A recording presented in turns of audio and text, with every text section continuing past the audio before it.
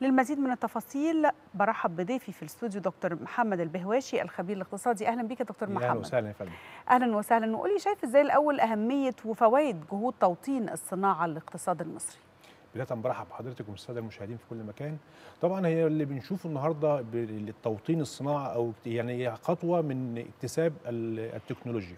يعني بنقول كأول خطوة دايما كنا هي دي اللي كانت في السابق موجودة اللي هي نقل التكنولوجيا من الدول المتقدمة لمصر هنا. فدوت كان مجرد إن أنا بأنشئ مصنع ويبقى هو بس إن أنا مجرد إن أنا مثلا زي صناعة السيارات أنا مجرد إن أنا تجميع يعني تشغيل الفكرة بس أو تشغيل التكنولوجيا بس. النهارده اللي بقت فيه رؤية عندنا منذ من بداية تولي سيادة الرئيس النهارده يبقى عندي توطين للصناعة ديت. النهارده التوطين إن أنا فكره النقل اللي أنا جبتها أستفاد أستفاد منها ويبقى عندي مهارة فيها وأتمكن فيها ويبقى عندي بداية الصناعة من الألف للياء يبقى هو ده التوطين. إن أنا يعني بسيطر على كافة المدخلات الصناعه فالنهاردة لما نقيم ده اقتصاديا طبعا أنا بفتح النهارده فرص فرص للتشغيل للشباب والنهاردة يمكن في اهتمام ده اهتمام وفي تكليفات متتالية على طول النهارده بتدريب الشباب.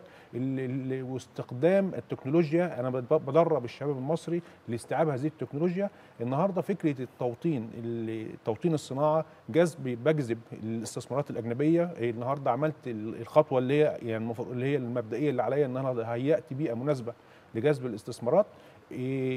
بتيح للعمالة المصرية اللي هي للقوى البشرية إن هي تعتبر في يعني بنقول بدل ما تبقى عائق النهارده بخليها داعم للاقتصاد أو يعني محفز للاقتصاد إن أنا أدرب القوى البشرية ديت اللي هي باكتساب الخبرة أو التكنولوجيا اللي نقلتها من بره.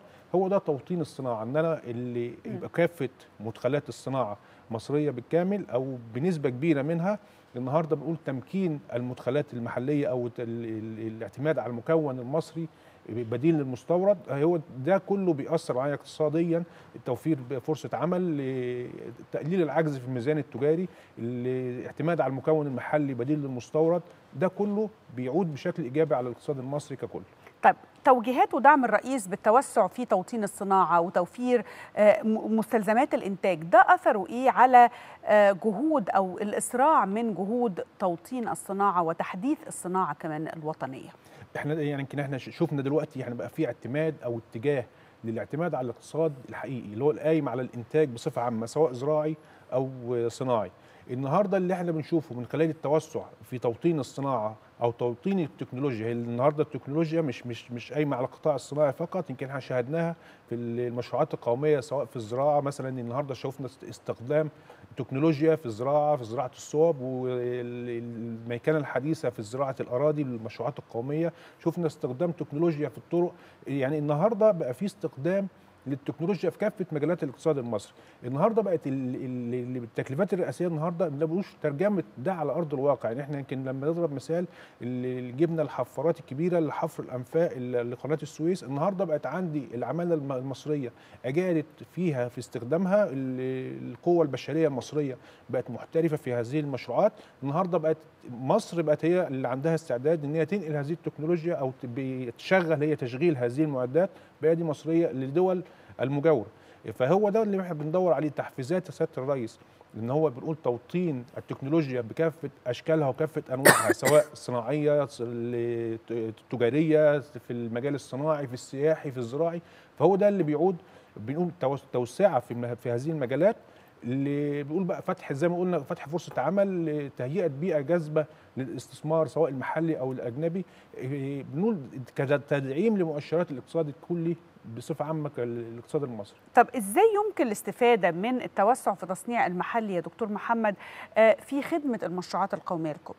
هي المشروعات القومية الكبرى كانت هي يعني بنقول يمكن كانت هي نقطة الانطلاق لتمكين المدخل المصري أو تمكين الصناعة المصرية. أنا فترة جائحة كورونا وفترة الإغلاق اللي كان موجود على مستوى العالم إيه النهارده قدرت أعتمد على المكون المحلي وشفنا الشط يعني يمكن يمكن سياده الرئيس في المشروع القومي حياة كريمة إيه وجه بالاعتماد على المكون المحلي. في المشروع ده بالأخص مثلا كان بيعتمد على يعني المواسير مواسير الصرف ومواسير البلاستيك والبوليبروبلين المحابس بقى يعني اتعمل حصر وتوجه لتنفيذ هذه المشروعات من خلال المشروعات الصغيرة والمتوسطة والمشروعات يعني حتى المدخل اللي إحنا محتاجينه كبير هيبقى عن طريق المش- القطاع المشترك ما بين القطاع الحكومي والقطاع الخاص.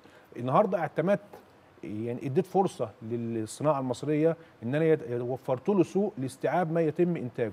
يمكن النهارده برضو من ضمن ال- الحاجات اللي, بيهتم بيها نقول توطين الصناعة إن أنا بنتج منتج مصري يكون قادر على المنافسة للسوق ال- الخارجي. يعني النهارده مش بنتج منتج إن هو منتج وخلاص للسوق المحلي المستهدف إن أنا أكفي السوق المحلي أستغنى بيه عن المستورد ويكون في فرصة للمنافسة لأسواق خارجية.